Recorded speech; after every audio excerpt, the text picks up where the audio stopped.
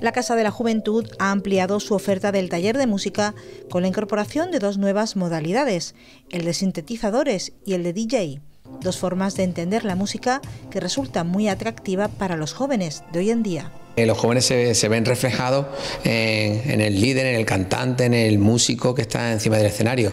Y bueno, la música va, cambiando, va evolucionando. Eh, hay mucha música en directo, hay muchos grupos, eh, digamos, tradicionales, pero sin duda alguna la música electrónica, sin ser algo nuevo, pero bueno, está pegando, está pegando muy fuerte y pienso que, o pensamos que puede ser un atractivo para incorporar al taller de música.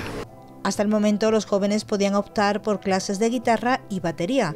Ahora tienen la posibilidad de conocer una forma diferente de hacer música que ya se escuchaba décadas atrás. Siempre se vuelve atrás en el tiempo con esto de la música.